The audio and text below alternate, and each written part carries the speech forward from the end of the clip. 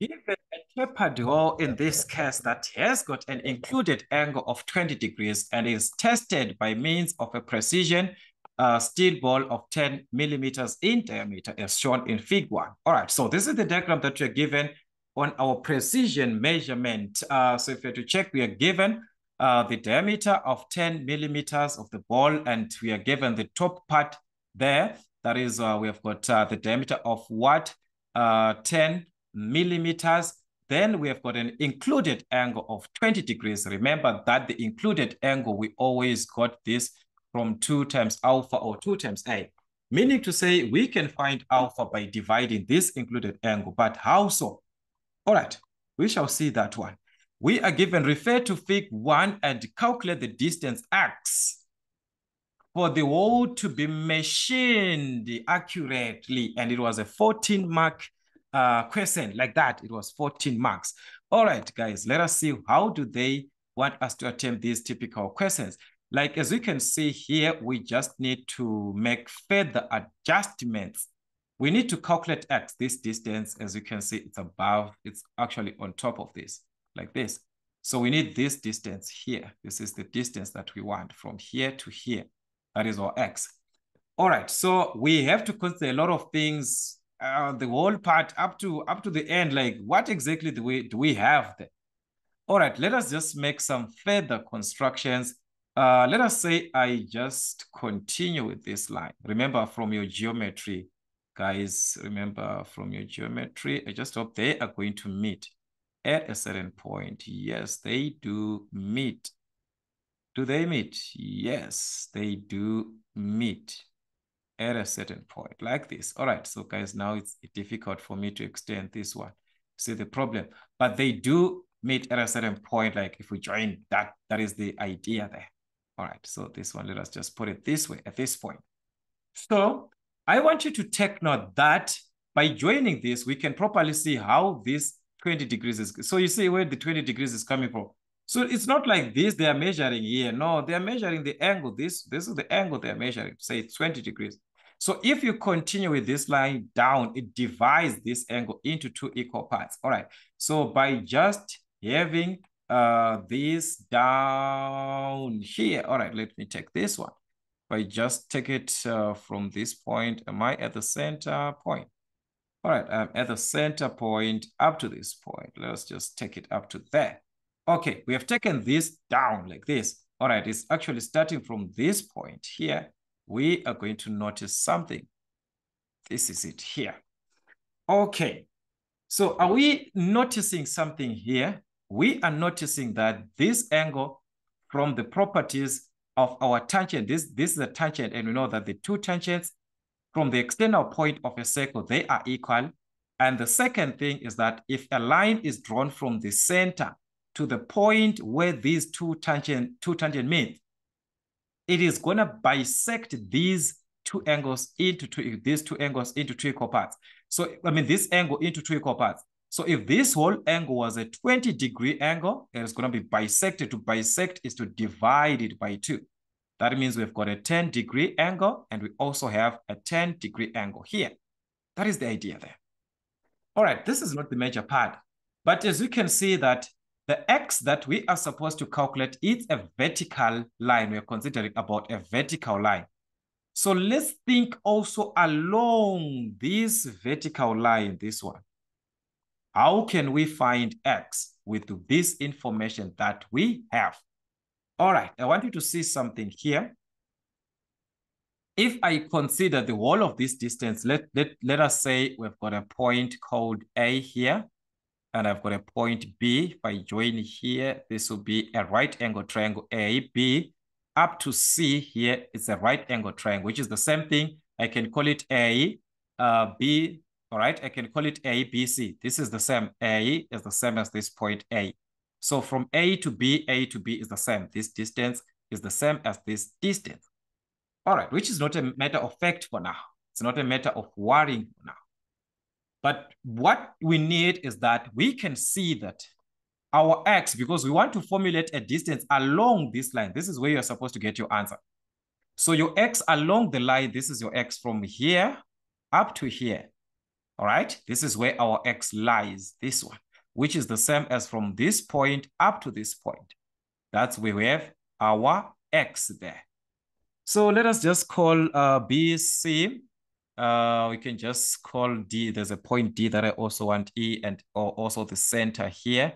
Uh, all right. So then if I join, I know that if I take a line from the center to the, to I mean, from the center here to the tangent, which is a radius, a radius drawn to the tangent, it meets the tangent at what? At 90 degrees. So this is going to be an important point. I'm just going to call it D and also the center. Uh, let me just call it E. So the same thing, if I want to do it this side, is the same thing. This is same as D, this same side here. So it means I've got A, B, C, D, E. Let me just take this one as F. So F is B to F, this one, which represents X. Of which there's no need for me to write F. There is no need there, guys. All right. So let us consider, like I said, our vertical line, this one, along the vertical line. Along the vertical line, it lies B to F, which is our X, the one that we want. It lies from F to E, which is the radius. Remember, radius uh, from F to E, that is from the center, there is radius. And if the diameter is 10 millimeters, therefore, the radius is going to be 10 over 2, which is 5 millimeters. So there I have got five millimeters, which is the radius FE, which is the same as from E to D. It's a radius again from E to D, a radius drawn to the what? From center to the circle, center to the circle, only that we want it to reach the what? The tangent. That is what, what we only need there. So we have a radius. Also, from this point E up to this point here, it is a radius.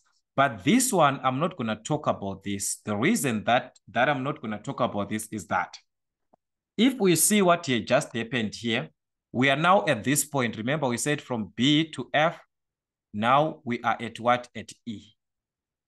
If you consider the wall of this line from E up to C like this, the wall of this line here, it is the one that is creating this right angled triangle. So we are going to consider it as a single line, the wall of this line as a single. We are not going to separate it into a radius because here there's nothing to consider. You can't calculate this distance from Norway, this one. There's no magic for us to find this one. So that is why we are limited there. So we have to take the wall of this line from a right angle track. Is either this way or it's either you're going to take it this way. That way, like I said, they are the same. So just use one part. So it means at the end, considering the vertical line, let's consider our vertical line and make this work.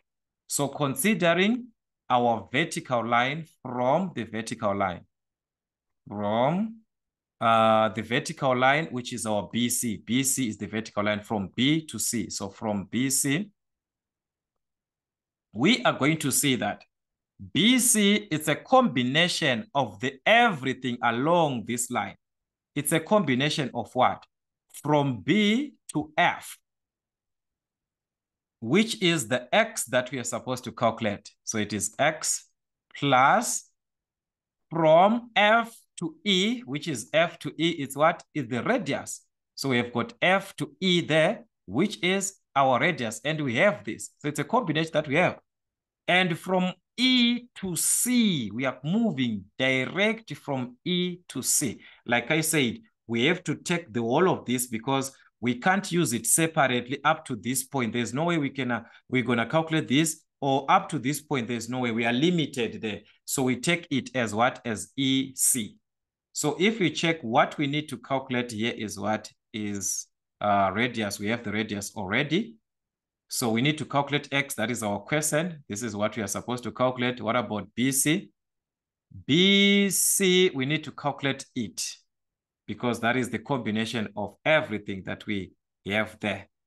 All right, if you consider BC, we can calculate it, the whole of this. So this can be calculated. We have to find a way of calculating this.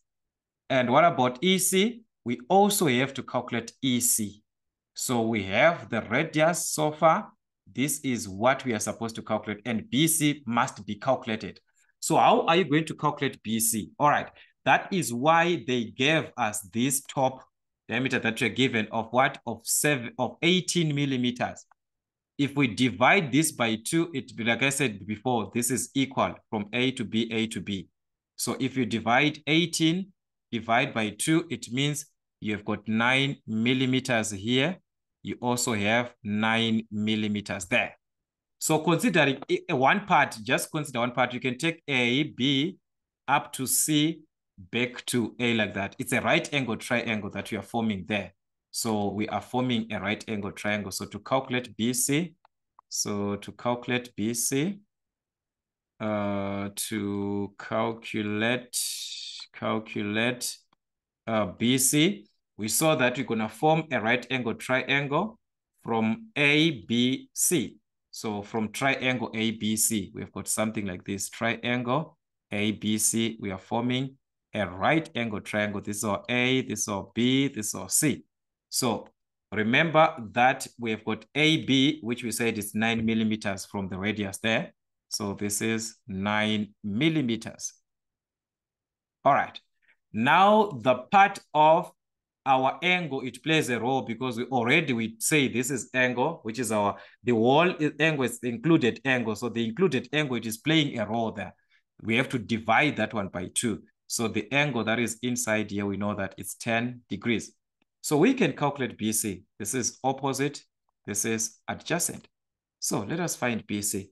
So from this, uh, the tan of theta, which is the tan of 10 degrees, is equal to the opposite 9 over the adjacent, which is BC. So that's it. Cross multiply.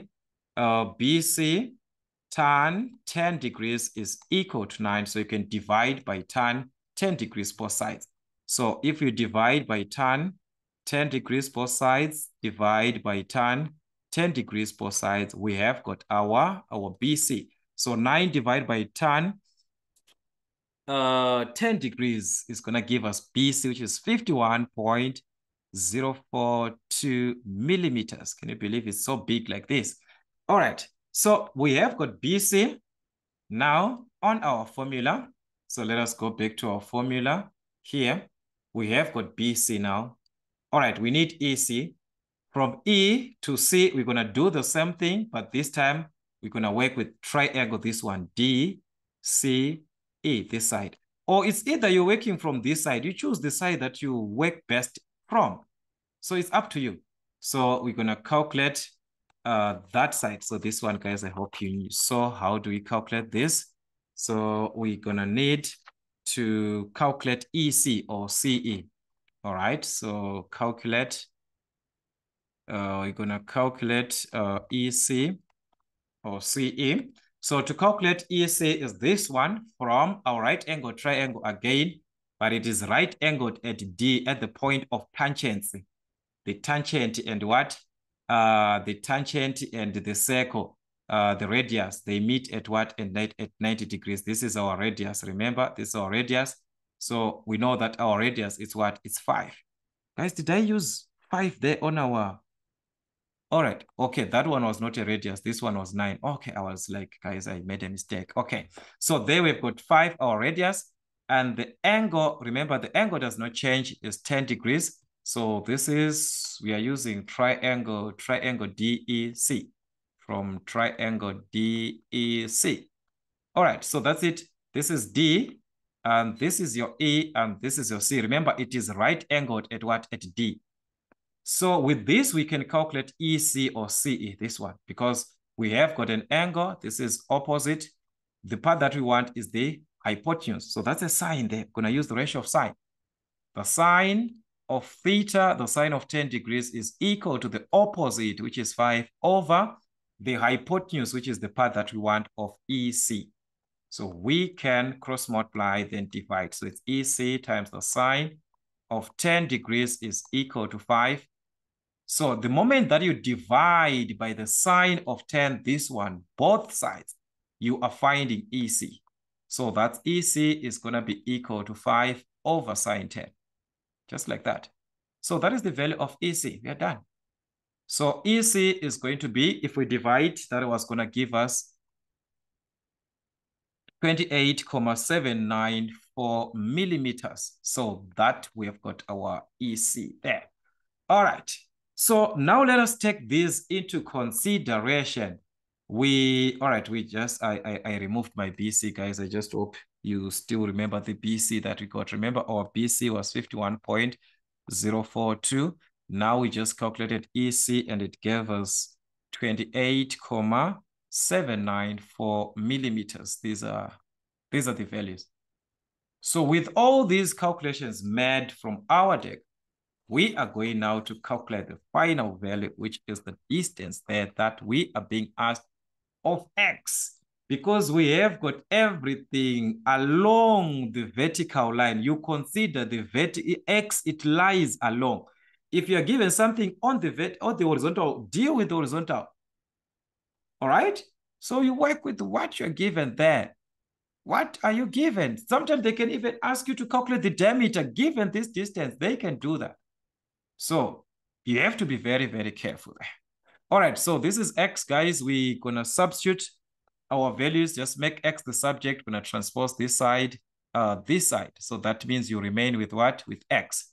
So X is going to be BC, which was already on the left-hand side. Then if we transpose R this side, our radius is gonna be minus the radius. If we transpose this to the other side, it's gonna be minus EC.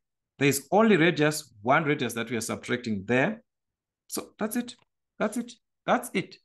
That's it there. So you're going to have x. So BC from B to C, the wall of that line. Remember, guys, that was our C there. The wall of that line is BC. We got it as what? 51.042 minus the radius. Uh, remember, the radius already given. The diameter is 10 millimeters. So the, uh, the radius is going to be 5.